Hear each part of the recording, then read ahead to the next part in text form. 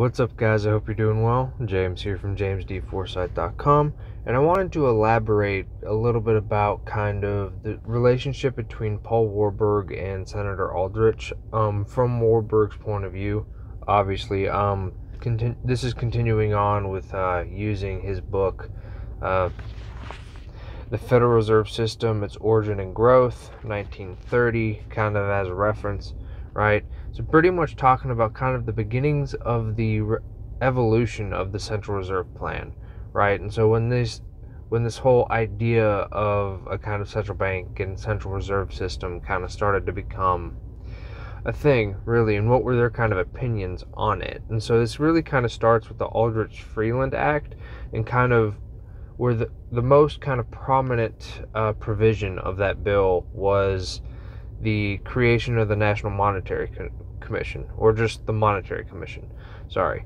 And then basically the whole purpose of this was to basically just do like academic research in a way and to kind of compile different opinions on um, banking methods, um, looking at the way they change um, from different countries and things like that. So, like the Monetary Commission went to Europe a few times, talked to kind of old world bankers, um, as they're sometimes called, to uh, see how they run things, see how they're different, maybe how they can improve, things like that, right? Really kind of, and then also draft different reports and papers and, and stuff like create a body of research for this for this kind of topic right and so one of the things i've noticed um, before at least in the very beginning and this changed obviously with um, specifically with respect to the relationship between warburg and senator aldrich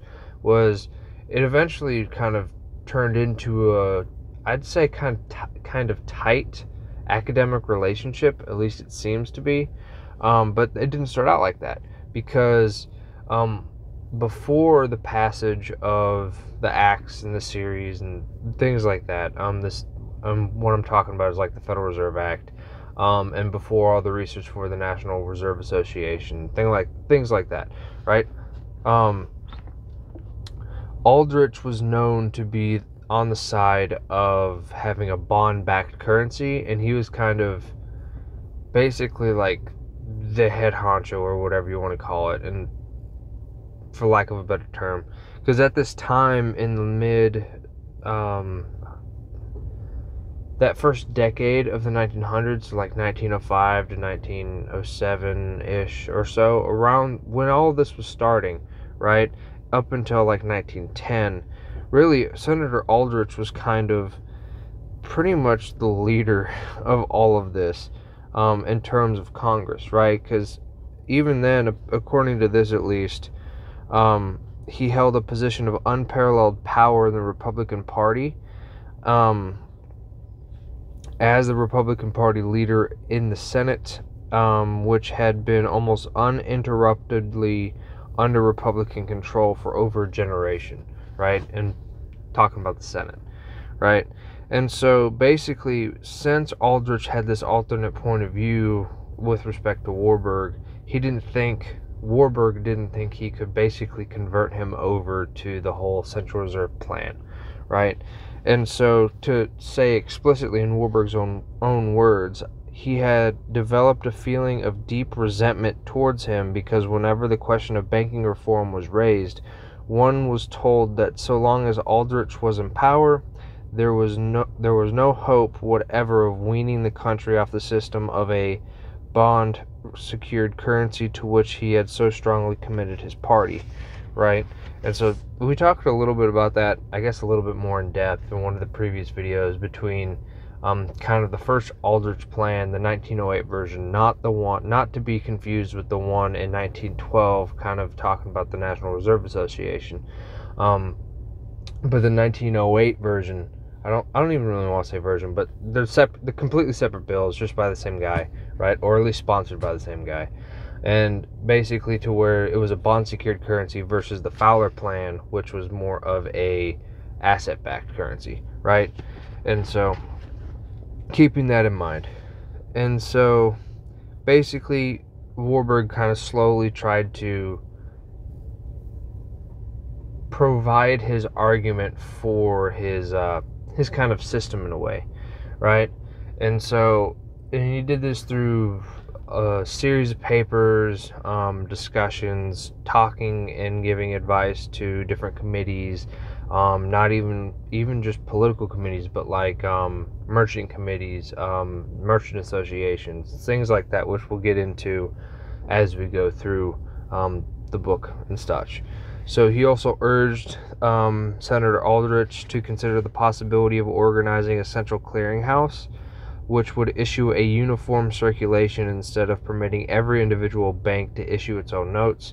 And so we also talked a little bit about this kind of centralizing the note issue itself, um, so that basically the monetary system would be more centralized and kind of controllable in a way, um, rather than having every single commercial bank being able to issue their own currency or even just um, individual states in a way right? So, like, where exactly is that kind of sovereignty drawn, so to speak, right? And so, one of the things that kind of that I noticed was Aldrich's kind of opinion of all this kind of changed rather early in terms of the whole grand scheme of things of the pro- um, the process of monetary reform, I guess we'll say. And so, basically, quoting Aldrich now directly, he said, There is one advocated by many thoughtful students of economic history and teachings who are led by the experience and practice of their commercial nations to favor some plan for a central bank of issue which would be in which would be in the in effect a central clearinghouse with very limited banking functions under government control. Personally, I believe I, being Senator Aldrich, um, that in time this co- this country is likely to adopt such a system. But I agree with other members of the committee that its adoption at this time or in the near future is out of the question. So he was kind of of the same opinion as Warburg and other kind of prominent monetary figures at the time, right? Basically, with general American sentiment, a central bank was not going to be a thing anytime soon at this point, right? Or at least that's what it was thought to be. And so it really had to be until after the panic of 1907 and kind of all of that stuff before sentiment could really change to the point that it would be allowed, in, uh, so to speak. And even then, it was kind of sold to the public as not a central bank, right? It was more of kind of that's why it's the Federal Reserve System and it has the de- decentralized 12 reserve banks, and then the FOMC is a different part, um, which actually wasn't even a thing in the original part. Original bill is just the Board of Governors. I'm getting ahead of myself, um, but you get the point, right? They had to kind of finagle their way in there, so to speak. So, after the panic in 1907, a great many commercial bodies had organized special committees for the purpose of studying the banking problem. And he gives the example of the Merchants Association in New York, um, and specifically the committee on their their committee on currency. Right, this is one of those committees that Warburg really gave a lot of advice to. Um,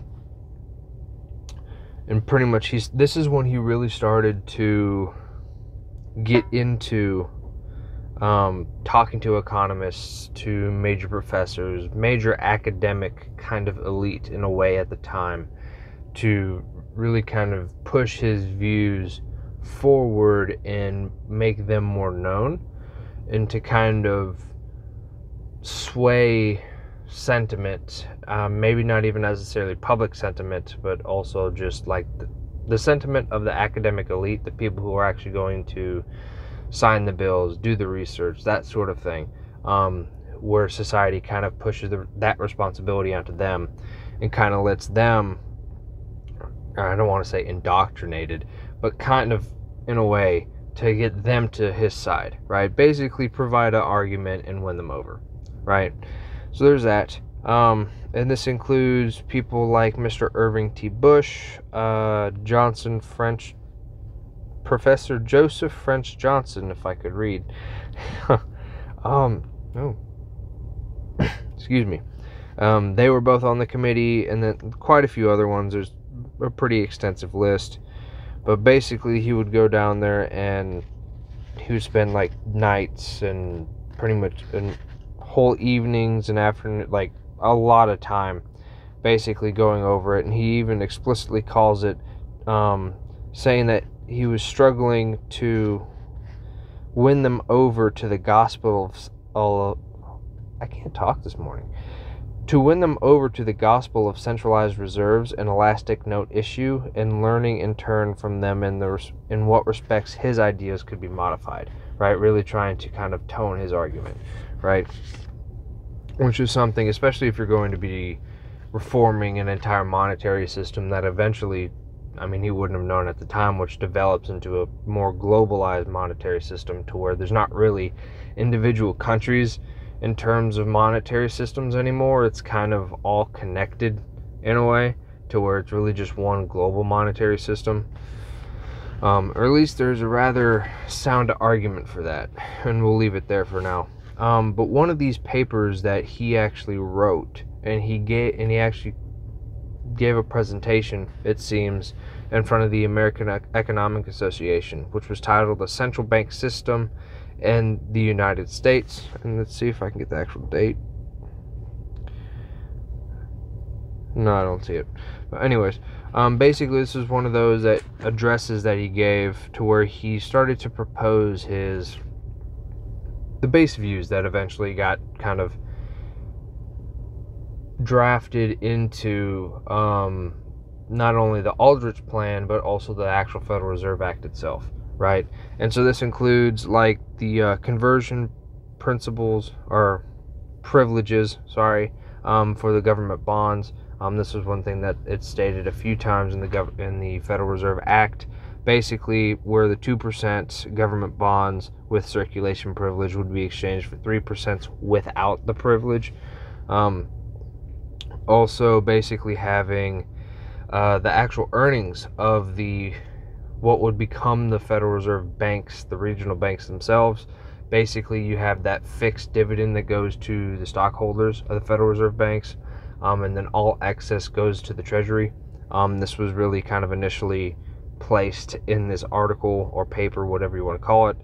Um, again, a central a central bank system in the United States um, is the title of it, and basically, yeah, ba- all of the excess over that dividend would go to the treasury, um, obviously barring expenses and things like that. Um, and then also, the whole purpose for this was at the time was retiring the greenbacks from the Civil War still, or um, at least improving the gold backing of those greenbacks, right? And that was really the whole purpose of giving it to the government, right? And so kind of to finish off with a much a, a longer quote, we'll say, specifically for um, why he was kind of changing the. He wasn't trying to sell it as a central bank, so so to speak. It was really trying to say it's a central kind of clearinghouse, right? And he says that he avoided calling the institution of the future a central bank. That's what he calls it, is institu- institution of the future. Uh, because as proposed here, it is not a central bank. If instead of the Independent Currency Association, this central issue department were endowed with active branch offices dependent upon the head the head office, such a name would be correct. No doubt a central bank with active branches would be the most efficient so far as concerns the controlling of the country's gold, its money rates, and its financial safety. But with our present political and financial conditions, it would probably be impossible and in many respects unsafe to vest such powers and duties in one body, right? And so this was really and throughout the entire not even just this book but other articles um, and other primary sources letters that you can see um, between warburg and some other prominent figures at the time like colonel house uh, president woodrow wilson um, some of the other ec- major economists and professors that he was talking to doing this research and things like that um, really the main reason why they didn't want to sell it as a, uh, or I guess market it as a central bank is because of the political and financial conditions at the time, to use his own words. Um, and really kind of the control aspect because at this time people were still very anti centralization, especially in terms of money, right, in the monetary system. And so that's, you really have to kind of look at that as a backdrop and put everything against it because it really is applicable to how all of this works. And I've made what much more in depth on that in a separate video, um, which I already forgot the title of. So, anyways, yes, I'm going to leave that one here. So, I hope you guys have a good night, and I will see you on the next one.